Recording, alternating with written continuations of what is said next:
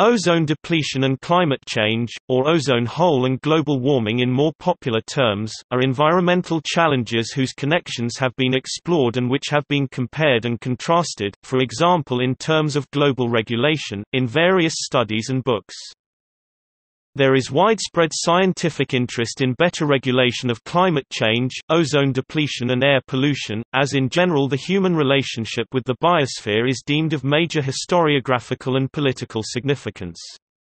Already by 1994 the legal debates about respective regulation regimes on climate change, ozone depletion and air pollution were being dubbed monumental and a combined synopsis provided. There are some parallels between atmospheric chemistry and anthropogenic emissions in the discussions which have taken place and the regulatory attempts which have been made. Most important is that the gases causing both problems have long lifetimes after emission to the atmosphere, thus causing problems which are difficult to reverse. However, the Vienna Convention for the Protection of the Ozone Layer and the Montreal Protocol that amended it are seen as success stories, while the Kyoto Protocol on anthropogenic climate change has largely failed. Currently efforts are being undertaken to assess the reasons and to use synergies, for example with regard to data reporting and policy design and further exchanging of information. While the general public tends to see global warming as a subset of ozone depletion, in fact ozone and chemicals such as chlorofluorocarbons CFCs and other halocarbons, which are held responsible for ozone depletion, are important greenhouse gases. Furthermore, natural levels of ozone in both the stratosphere and troposphere have a warming effect.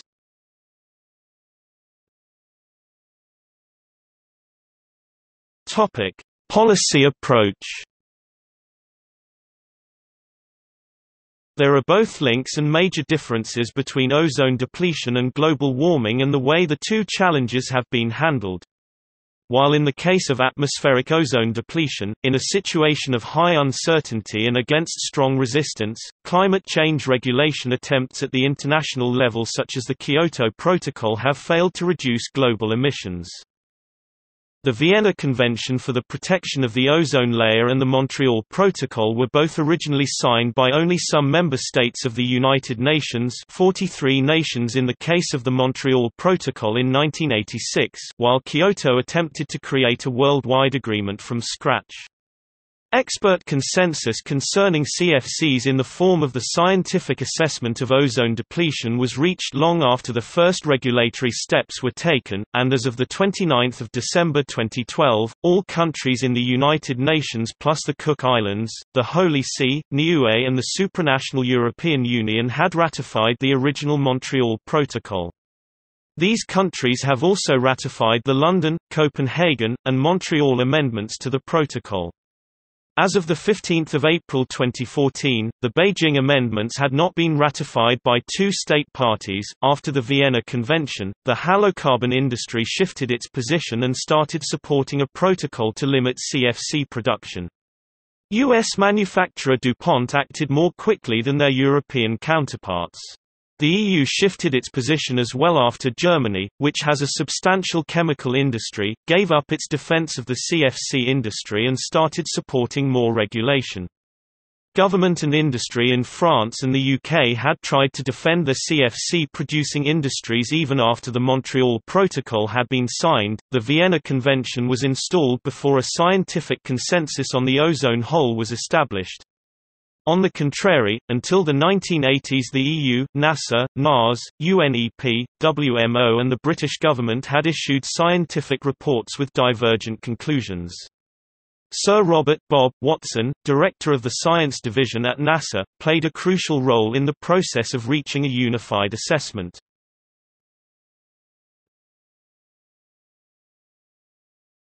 Topic: Policy and consensus. Bob Watson successfully united the international science community in 1985 to act on the problem with the ozone hole. Before a consensus existed, AANT Elzinga wrote in 1996 about the consensus, that the Intergovernmental Panel on Climate Change has tried in the prior two reports a global consensus approach to climate action. Stephen Schneider and Paul N. Edwards, noted in 1997, that after the IPCC second assessment report, the lobby group Global Climate Coalition and a few self-proclaimed contrarian scientists tried to discredit the conclusions of the report. They pointed out that the goal of the IPCC is to fairly represent the complete range of credible scientific opinion and if possible a consensus view. In 2007, Reiner Grundmann compared climate actions in Europe and the United States. He interpreted the inaction besides existing consensus and noted political agenda that drove US climate change policy. The high visibility of skeptical scientists in the media resonates with this, and wrote that Germany started ambitious goals, reduced emissions, because balanced reporting led to a bias in climate change coverage in advantage of skeptical arguments in the US, but not so much in Germany. Additionally, Grundmann pointed out that after warnings from scientists in 1986 the German parliament commissioned the Enquete-Kommission Vorsorge zum Schutz der Erdatmosphäre precaution for the protection of the Earth's atmosphere to assess the situation, consisting of scientists, politicians and representatives of interest groups. Three years later the report made an impact with the assessment of the state-of-the-art in climate research, an assessment of the threat of climate change itself as well as suggestions for clear emissions reduction targets, even though he argues there was no consensus, and attributed the success of the report to strong precautionary action, and that no scientific outsiders or climate change skeptics were involved, a linear model of policy making, based on a position that the more knowledge we have, the better the political response will be, was not applied in the ozone case. On the contrary, the CFC regulation process focused more on managing ignorance and uncertainties as a basis of political decision-making, as the relationships between science, public lack of understanding and policy were better taken into account. In the meantime, such a player in the IPCC process as Michael Oppenheimer conceded some limitations of the IPCC consensus approach and asked for concurring, smaller assessments of special problems instead of repetitions of the large-scale approach every six years. It has become more important to provide a broader exploration of uncertainties. Others also see mixed blessings in the drive for consensus within the IPCC process and have asked for dissenting or minority positions to be included or for statements about uncertainties to be improved.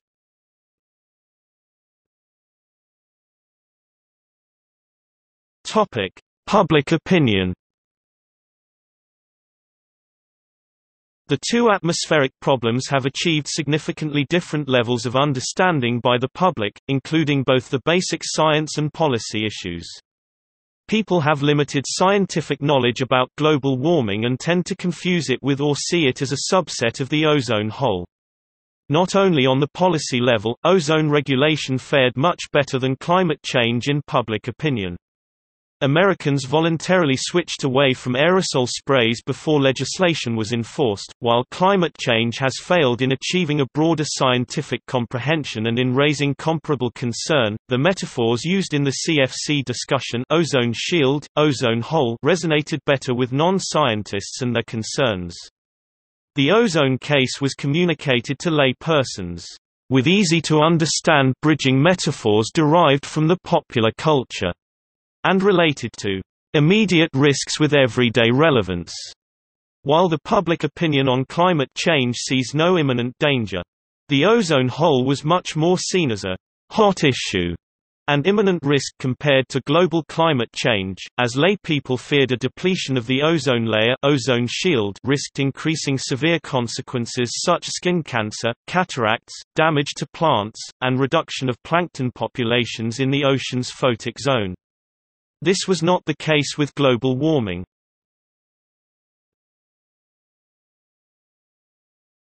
Topic: Personal risk assessment and knowledge.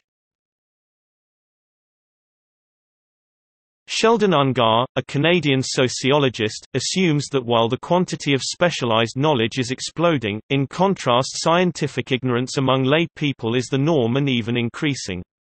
Public opinion failed to tie climate change to concrete events which could be used as a threshold or beacon to signify immediate danger. Scientific predictions of a temperature rise of 2 degrees Celsius 4 degrees Fahrenheit to 3 degrees Celsius 5 degrees Fahrenheit over several decades do not resonate with people, for example in North America, who experience similar swings during a single day.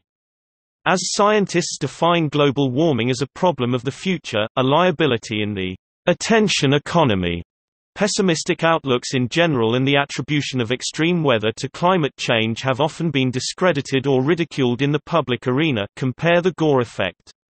Even when James Hansen tried to use the 1988–89 North American drought as a call to action, scientists kept stating, in line with the IPCC findings, that even extreme weather is not climate. While the greenhouse effect, per is essential for life on Earth, the case was quite different with the ozone hole and other metaphors about ozone depletion.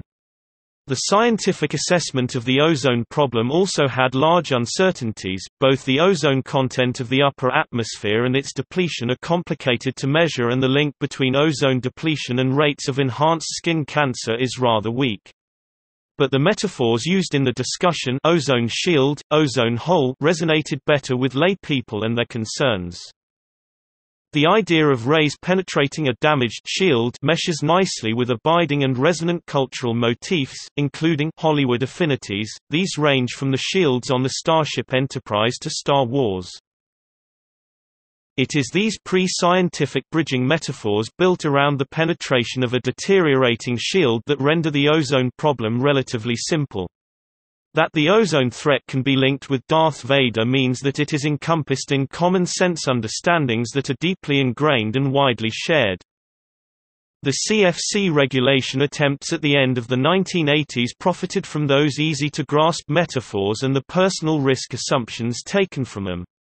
The fate of celebrities like President Ronald Reagan, who had skin cancer removal from his nose in 1985 and 1987, was also of high importance. In case of the public opinion on climate change, no imminent danger is perceived.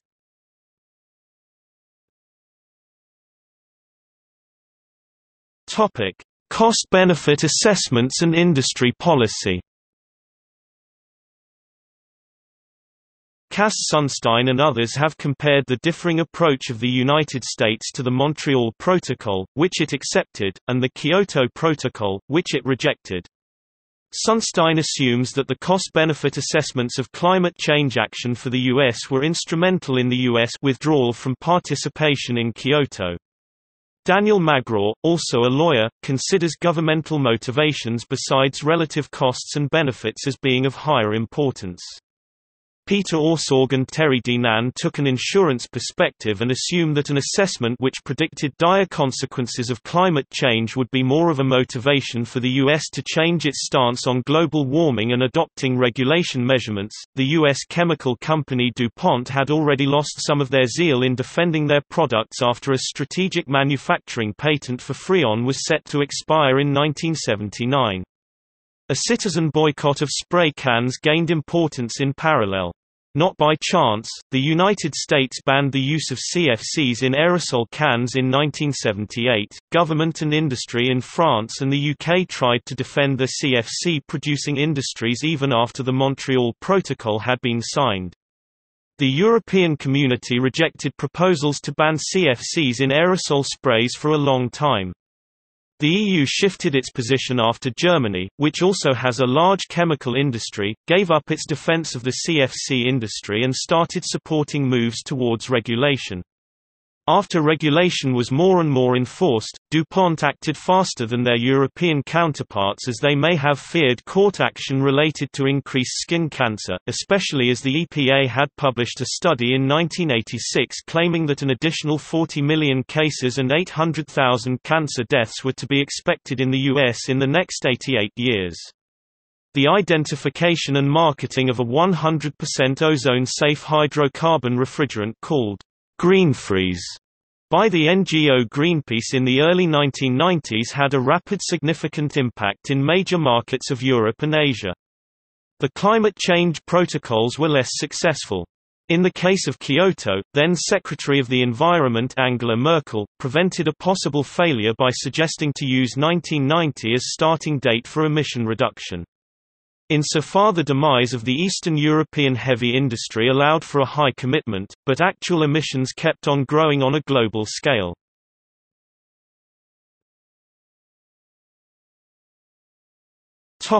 Science background. There are various links between the two fields of human atmospheric interaction. Policy experts have advocated for a closer linking of ozone protection and climate protection efforts. Drew Shindell has used climate models to assess both climate change and ozone depletion. In his view, while research up to now has been more about the impact of CFC emissions on stratospheric ozone, the future will be more about the interaction between climate change and ozone feedback. Ozone is a greenhouse gas itself. Many ozone-depleting substances are also greenhouse gases. Some agents of radiative forcing are thousands of times more powerful than carbon dioxide over the short and medium term. The increases in concentrations of these chemicals have produced 0.34 plus or minus 0.03 with M2 of radiative forcing, corresponding to about 14% of the total radiative forcing from increases in the concentrations of well-mixed greenhouse gases. Already the natural ozone variability in the stratosphere seems to be closely correlated with the 11-year solar cycle of irradiance changes and has, via a dynamic coupling between the stratosphere and troposphere, a significant impact on climate. As with carbon dioxide and methane, there are some natural sources of tropospheric chlorine, such as sea spray. Chlorine from ocean spray is soluble and thus is washed by rainfall before it reaches the stratosphere. It is stratospheric chlorine that affects ozone depletion. Only methyl chloride, which is one of the halocarbons, has a mainly natural source, and it is responsible for about 20% of the chlorine in the stratosphere, the remaining 80% comes from man-made sources. Chlorofluorocarbons, in contrast, are insoluble and long-lived, allowing them to reach the stratosphere. In the lower atmosphere, there is much more chlorine from CFCs and related haloalkanes than there is in hydrogen chloride from salt spray, and in the stratosphere halocarbons are dominant. The same CO2 radiative forcing that produces global warming is expected to cool the stratosphere. This cooling, in turn, is expected to produce a relative increase in ozone O3 depletion in the polar area and in the frequency of ozone holes. Conversely, ozone depletion represents a radiative forcing of the climate system of about minus 0.15 plus or minus 0.10 watts per square meter with M2.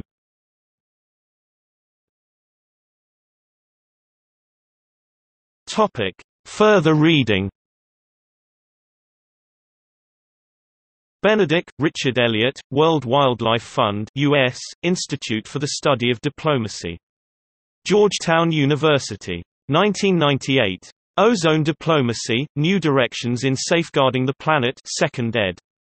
Harvard University Press. ISBN 978-0-674-65003-9.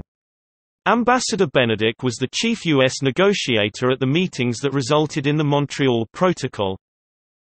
Chase, Pam, David L. Downie, and J. W. Brown 2013. Global Environmental Politics, 6th edition, Boulder, Westview Press. Andersen, Stephen O., K. Madhava Sarma and Kristen N. Taddonio. 2007, Technology Transfer for the Ozone Layer, Lessons for Climate Change, Earthscan Press, London. Dotto, Lydia, Schiff, Harold 1978.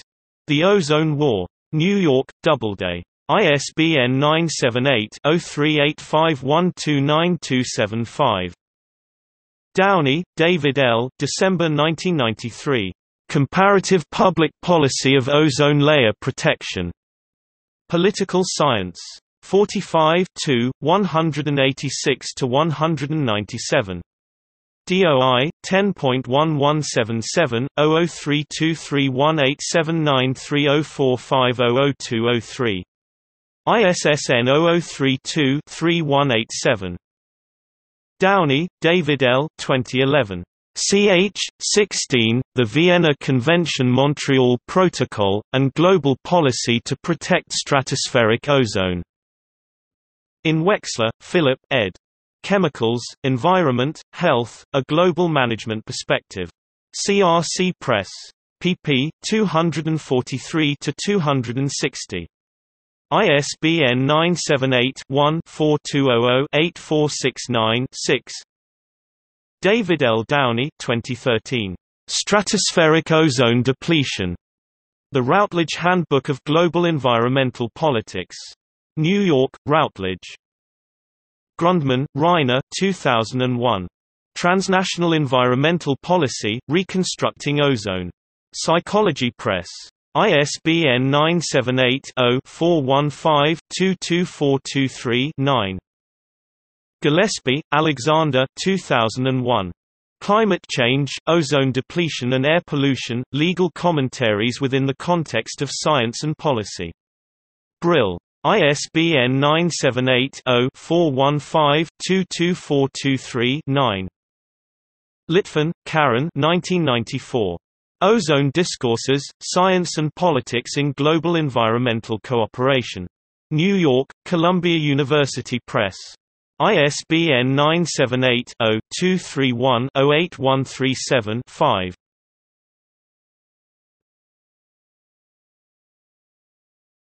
Topic: External links Is there a connection between the ozone hole and global warming? Union of Concerned Scientists FAQ WO climate change and stratospheric ozone depletion. Early effects on our health in Europe. Ozone depletion and climate change, website of the Ministry for the Environment New Zealand.